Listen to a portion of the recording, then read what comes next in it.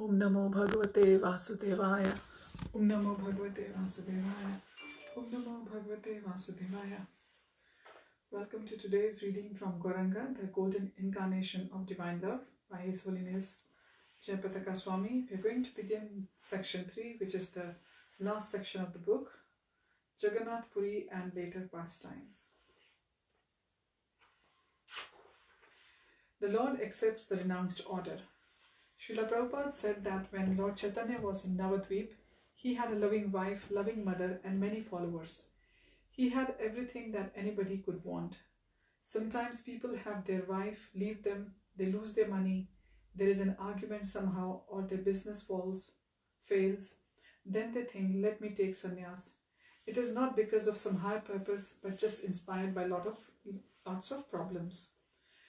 There was a Bengali story in this connection by Bhakti Siddhanta Saraswati Thakur. One man was trying to get his daughter married, so he thought he would offer a dowry with the daughter to encourage some young man to accept the hand of his daughter and protect her for her whole life. He said, Anyone who marries my daughter, I will give them a free bedroom set, a bed, a dresser, and a little table next to the bed. This is a quite common thing in Bengal. The rich people, they give crores of rupees, kilos of gold, and the poor people, they will give bicycles, sewing machines, rickshaws, or bed sets. Bed sets are common. So he announced, My beautiful daughter and a free bed set. Where are you going to take get a deal like that? So one poor man, he married the girl and got the bed set. But he didn't realize that the father of the girl was a miser. He had made the bed out of jungle wood, not good teak wood, but out of some wood taken cheaply from the jungle. So one night while they were sleeping, the wood bent and the whole bed collapsed. Then the husband said, You know, these beds are all artificial. What is the use of this? Better to have a nice mat, just sleep on the floor. He didn't say it out of any real motive, just that he had no choice. He had to renounce his bed because it was broken. This is called broken bed philosophy. If things don't work, then they talk about renunciation because they don't have any other choice. This was not the case with Chaitanya Mahaprabhu. He had everything. Who leaves a wife who is actually the goddess of fortune, or a mother who is as loving as Mother Shachi? By material calculation, nobody in their right mind would leave such a wonderful setup. And he had hundreds of thousands of followers. Chandkazi gave some trouble, and 200,000 people were knocking at his door. However, because he promised to deliver the fallen souls, Lord Chaitanya took sannyas. Lord Chaitanya had many different loving exchanges with his devotees. One of the most shocking things was when he took sannyas. It put everyone in great distress. He was the life of Navadvip. He was everybody's focus. When he left and took sannyas for his mother, for his widow, for all the devotees, for all the townspeople of, for his widow mother, for all the devotees, for all the townspeople of Navadvip, this seemed like a contradiction. He was always so loving and caring, and this seemed almost cruel. He sacrificed many relationships in order to preach. In one place, it is explained that in Ramlila, Sita was banished. So in Gaur Leela, Lord Gauranga was banished to the forest. Sometimes we sing the song Grihe Thako Vane Thako Sadahari Bole Thako Dako. Grihe means those who live in their home. Vane means those who live in the forest. Being a sannyasi or brahmachari or vanaprastha is considered like living in a forest because they do traveling and preaching. Often they have no fixed place of residence, living only in the ashram at best. Now in Kali Yuga, it is not recommended to live in the forest, so we live in an ashram. Still, it doesn't necessarily have all the comforts of a home, just dormitory style accommodation or some bhajan kutir. When Lord Chaitanya decided to take sannyas, he made a plan to go with only five devotees. Only five people knew his plan. This was also because he had trained up all his students to be devotees, but they were a bit fixed in the rules and regulations. They had become upset one day when they found Lord Chaitanya chanting the names of the gopis. They said, What is this? Chant Hare Krishna, not Gopi Gopi. This is not bona fide. But Lord Chaitanya was on a different platform. He wanted to go deep into Radha Krishna pastimes, so he saw that this was going to be difficult. Because as a Grihastha, they are going to treat him in an ordinary way and he wouldn't be able to preach, wouldn't be able to fulfill his mission, he thought. At least if I am sannyasi, I will get a minimum level of respect and I can spread the message far and wide. In this way, I can fulfill my mission, so somehow he made this decision. Of course, in the Shastras, it is predicted that Lord Krishna will come and for 24 years he will be in householder life and for 24 years in the renounced life order. So he will be a peaceful sannyasi. All these things were predicted. So one night he escaped with five devotees and in the middle of the night somehow his mother discovered that he was gone. She looked everywhere for him. She was calling Nimai, Nimai Kothai. In Bengali, Kothai means where. So she was calling out. Where are you, Nimai? She ran out into the fields looking for him and crying. There is a village she came to along the way where she was so mad in her separation of her divine son that she was just calling over and over, Where is my Nimai? But it was in the middle of the night and there was no response. She collapsed on the ground, crying and criticized the village, called it Nirodya. Nirdoya. Doya means mercy, so Nirdoya means no mercy. Since that the time the village is known as Nirdoya, now shortened to Nidoy. It always gets hit by the flood first. They had no mercy on the mothers on Mother Shachi, so they are still paying the karma. Lord Chaitanya reached Katwa and there is a tree there which is still standing under which Lord Chaitanya and his five associates sat. The most vivid description of him taking sannyas is in Bhakti Ratnakar. Where there it describes how the father of Srinivasacharya Chaitanya Das was there at the time he was going to see Lord Chaitanya at Navadvip, but on the way he saw a huge crowd of people at Katwa town, which is about 45 minutes north of Navadvip. So Chaitanya Das asked what everybody was doing, what was the big festival, and the town people, townspeople said, Lord Gauranga is here. He has come to take the sannyas in the ashram of Keshav Bharti. So then he went to the ashram of Keshav Bharti, and as he got closer and closer, he could hear there was a huge kirtan. Everybody was dancing and chanting. Lord Chaitanya was chanting and tears were coming out from his, his eyes like water from a syringe. He was chanting with so much love, so much devotion, and his tears came out shooting and were wetting everybody.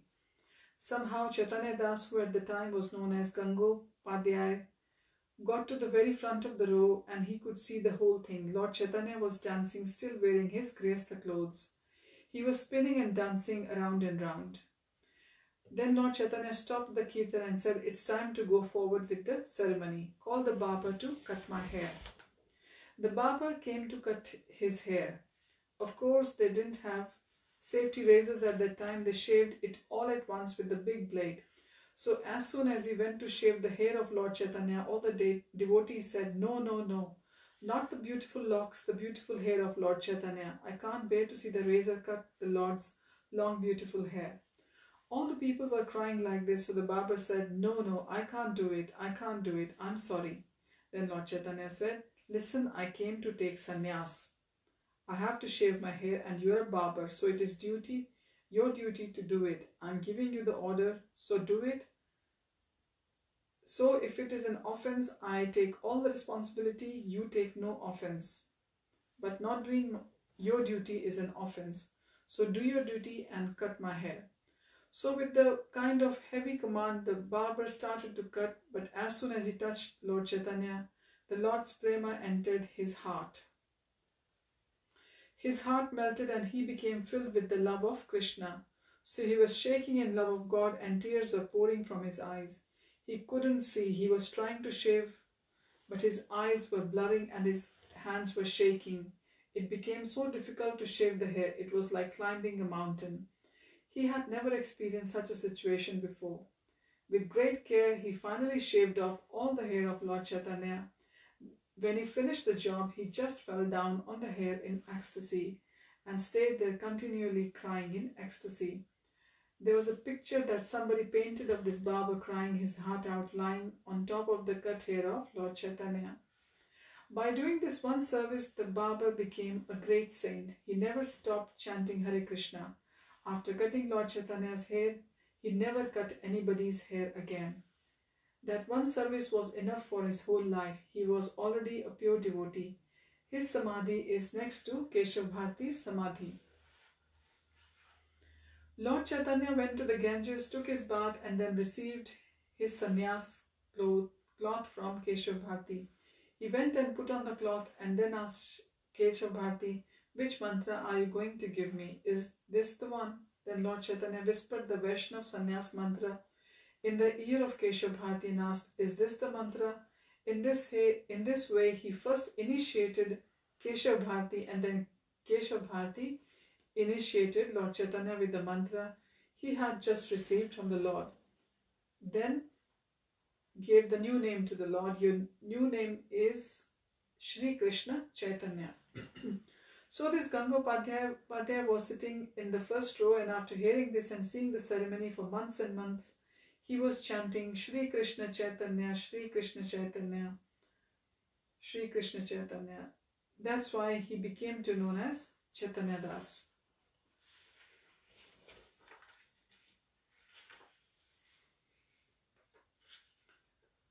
Reunion in Shantipur.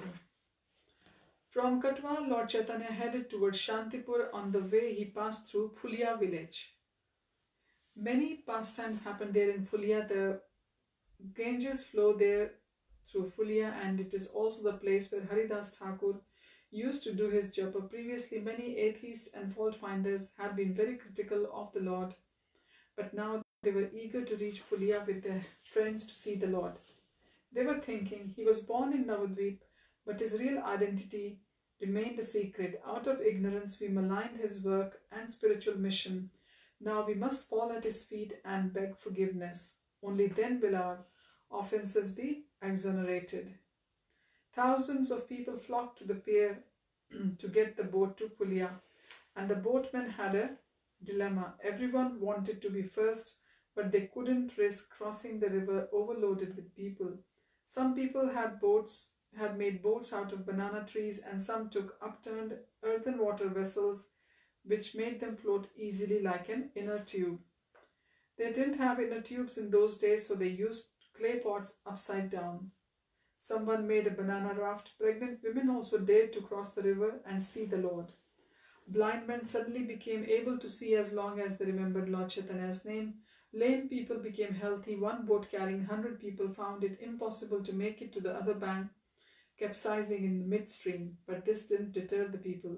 They jubilantly chanted the Lord's holy name and floated upstream. Even people that didn't know how to swim, suddenly they miraculously knew how to float. Everyone wanted to go to show their respects to the Lord. The infinitely charming face of the Lord captivated millions of people. No one wanted to go home. They just wanted to see the lotus face of the Lord once. In the Chaitanya Charitamrit, it is described that after leaving Katwa, Lord Chaitanya headed west to go to Vrindavan. However, Nityanand tricked him and directed him to the south.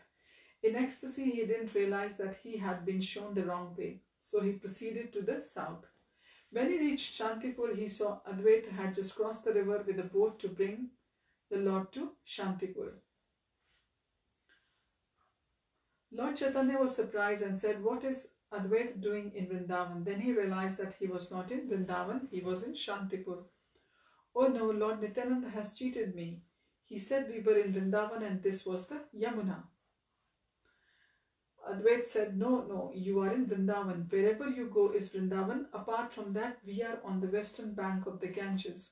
Triveni at Prayag is the confluence of the Yamuna, Saraswati, and Ganga. The Yamuna flows technically on the west side of the Ganga. On the right side, Saraswati. Uh, Yamuna technically on the west side of west side and Ganga on the right side. Saraswati is in the middle. So here on the western bank of the Ganga is technically the Yamuna. Then Advaita Acharya brought Lord Chaitanya to Shantipur across the river to his ashram. Back in Navadvip, Shachimata was in the ocean of Krishna Prem. She was submerged in it. She was saying, what she was saying, what she is hearing, nobody knows. She has no external consciousness. She would come up to the people in the madness of separation from Krishna and ask, What is the news about Mathura, about Ram and Krishna? How are they doing in Mathura? That great sinful Kamsa, what arrangements is he making for them? That thief Akrur, where has he taken Krishna and Ram? Kamsa and Akrur stole my Krishna and Ram. I heard that sinful Kamsa died over there. Now Ugrasen has become has the has become the king of Mathura.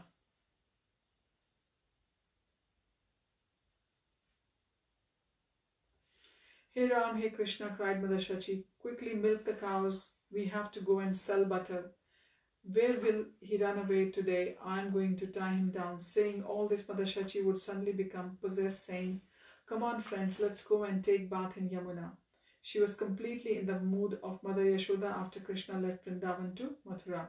She cried so loudly that anyone who would hear it, their heart would melt. Their heart would be broken by her loud cries of love. This was the state she was in there in Navadvip. So much separation, she became mad in separation from Krishna.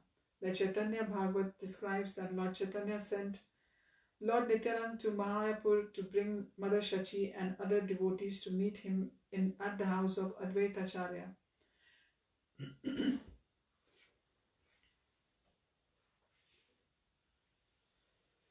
when Lord Nityananda arrived, he went to the house of Shachimata and when Mother Shachi saw Nityanand, she said, My boy, my son, my darling boy, she swooned in ecstasy. The devotees were feeling overwhelmed with different emotions. They embraced Nityanand and were bathed with his tears of ecstasy. He calmed them down and told them the good news.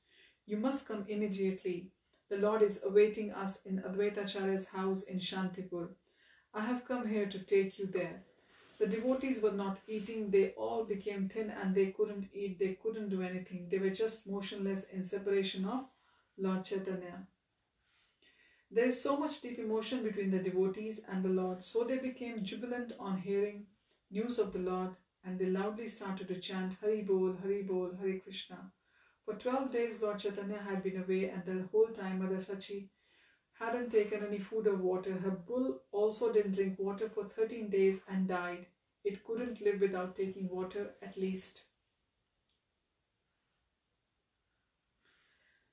Sri Nityananda Prabhu encouraged Shachimata by saying, You know everything that Krishna, the supreme object of the Vedas, is your son.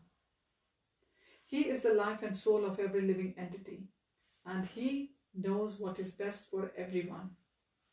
Just surrender everything to His lotus feet and live happily and peacefully. Now, Mother, please go and cook for the satisfaction of all the devotees. This is devotional service to Krishna. Everyone is eager to taste your cooking. If you remain fasting, Krishna has to fast also. I am also extremely anxious to relish the offerings cooked by you.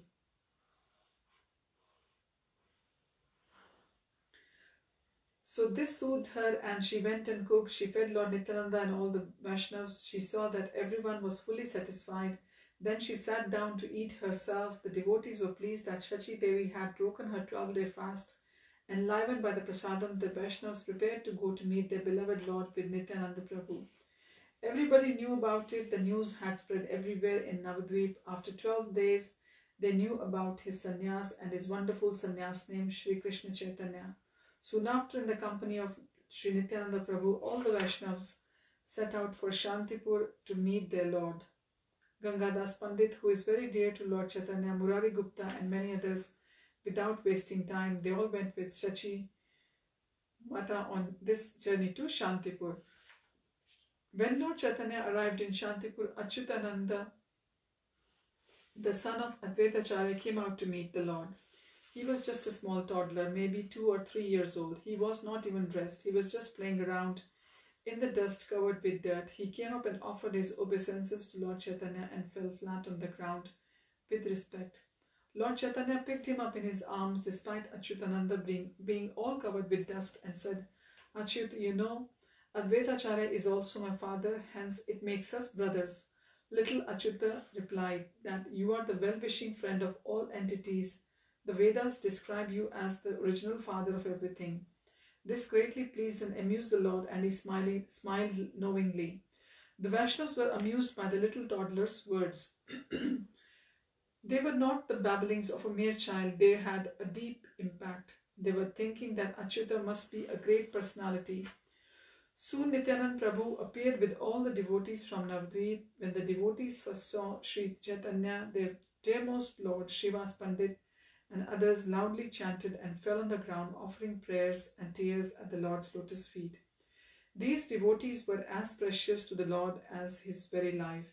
His lovingly embraced he lovingly embraced each one of them. The devotees cried out from the pain of ecstasy in separation. Their cries purified the entire earth. The pure devotees were weeping in love of God. If you can hear a pure devotee crying in love of Godhead, it will cut your bondage to this material world. Normally, we don't hear such ecstatic crying. But by Lord Chaitanya's mercy, everybody could hear it. There was so much emotion. So we'll continue our reading from here onwards next time. Thanks for joining. Hare Krishna. Srila Prabhupada ki jai.